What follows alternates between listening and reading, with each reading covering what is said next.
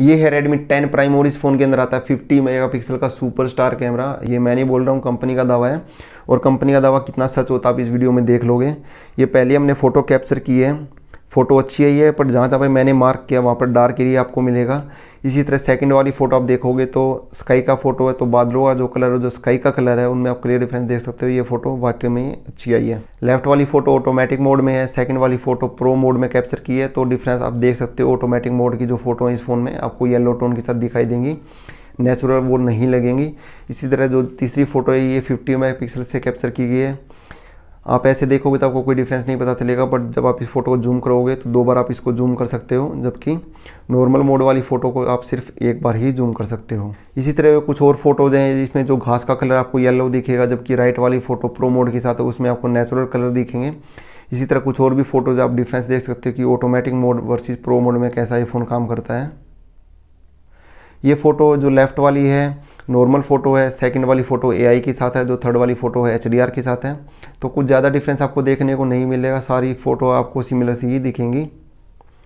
ये वाली photo automatic mode में है सेकेंड वाली फ़ोटो पोर्ट्रेट मोड के साथ है। बैकग्राउंड कलर आपको ठीक ठाक मिल जाता है बट जो एच डिटेक्शन है, वो आपको जब मैंने मार्क किया, वहाँ पर इतना अच्छा नहीं है। इसी तरह दूसरी फ़ोटो में आप देख सकते हो कि जो एच डिटेक्शन है, वो आपको इतना अच्छा इस फ़ोन में नहीं मिलेगा।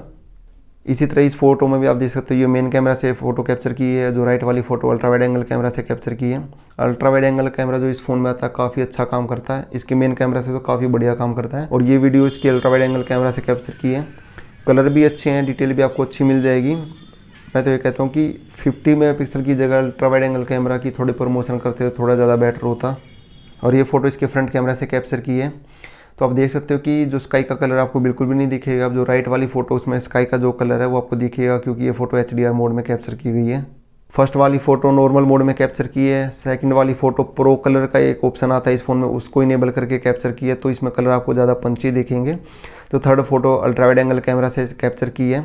इसी तरह कुछ और फ़ोटोज़ हैं जो नॉर्मल मोड में और जो प्रो कलर का ऑप्शन आता है, उसका आप डिफरेंस आप फ़ोटोज़ में देख सकते हो। कलर आपको काफ़ी ज़्यादा पंची लगते हैं, जो हमारी आँखों को कलर इस तरह के देखने को अच्छे लगते हैं बट ये बिल्कुल भी नेचुरल फ़ोटोज़ आपको नहीं दिखेंगी। इसी तरह ये कुछ और फ़ोटो हैं जो हमने मैक्रो कैमरा से कैप्चर किए हैं। ठीक ठाक फ़ोटो हम इनको बोल सकते हैं, ज़्यादा अच्छी नहीं बोल सकते क्योंकि दो मेगापिक्सल का कैमरा ज़्यादा इससे उम्मीद नहीं की जा सकती। दिन में भी जो फ़ोटो हमने कैप्चर की, उनमें आप देख सकते कि ज़्यादा आपको नॉइस देखने को मिलेगा। इस फ़ोन में एक ऑप्शन आता है correct distortion in ultra wide shots तो मैंने फ़ोटो कैप्चर की है। लेफ़्ट वाली फ़ोटो नॉर्मल है, राइट वाली फ़ोटो इस ऑप्शन को इनेबल करके कैप्चर की है। तो कुछ भी आप डिफरेंस नहीं बता सकते। इसी तरह हमने कुछ और भी फ़ोटोज़ कैप्चर की थी बट हमें ज़्यादा डिफरेंस देखने को नहीं मिला। फ़र्स्ट वाली फ़ोटो नॉर्मल फ़ोटो है सेकंड वाली फ़ोटो नाइट मोड में कैप्चर की है, जो थर्ड वाली फ़ोटो है अल्ट्रा वाइड एंगल कैमरा से कैप्चर की है। थर्ड वाली फ़ोटो में तो आप बता ही नहीं सकते कि कौन से प्लांट की फ़ोटो हमने खींची है। सेकेंड वाली फ़ोटो में थोड़े लाइट आपको दिखेगी। जो फ़र्स्ट वाली फ़ोटो है, जो नॉर्मल मोड है, उससे कैप्चर की तो लाइट आपको ज़्यादा इसमें नहीं दिखेंगी। ये फ़ोटो इसके फ्रंट कैमरा से कैप्चर की गई है, रात के समय में।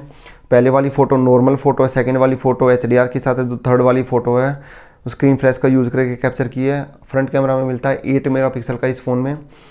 तो जहाँ तक लाइट मिलेगी, इस फ्रंट कैमरा को ये फ़ोटो ठीक ठाक कैप्चर कर लेता है बट लो लाइट में इतनी अच्छी कैप्चर नहीं करेगा। इसी तरह मैं आपको कुछ और फ़ोटोज़ दिखाता हूँ। ये फ़ोटोज़ आप देखोगे तो ये इंडोर में शूट की गई हैं। पहली वाली फ़ोटो नॉर्मल फ़ोटो है सेकंड वाली फ़ोटो ब्यूटीफाई मोड के साथ है थर्ड वाली फ़ोटो पोर्ट्रेट मोड में है। पोर्ट्रेट मोड में ध्यान देने वाली बात है कि ब्यूटीफाई का जो ऑप्शन होता है, वो बंद हो जाता है, काम नहीं करता है। इंडोर में आपको ठीक ठाक फ़ोटो मिल जाती है, इसके फ्रंट कैमरा से ज़्यादा बुरी हम नहीं बोल सकते कि अच्छी फ़ोटो हम बोल सकते हैं इसको। और ये कुछ बैक कैमरा से हमने कैप्चर की है पहले वाली फ़ोटो ऑटोमेटिक मोड में है सेकंड वाली फ़ोटो एआई के साथ है, जिसमें कलर हमें थोड़े और बूस्टेड मिलेंगे। तो थर्ड वाली फ़ोटो ये पोर्ट्रेट मोड में है जो ये फोर्थ वाली फ़ोटो है, आप इसमें देख सकते हो। जो प्रो कलर के साथ कैप्चर की कलर और भी ज़्यादा पंची हो जाते हैं। ये वीडियो हमने बनाई इसके बैक कैमरा से, जिसमें मैक्सिमम ऑप्शन मिलता है टेन एट्टी तक का थर्टी फ्रेम पर सेकेंड सिक्सटी फ्रेम पर सेकेंड का ऑप्शन आपको नहीं मिलेगा।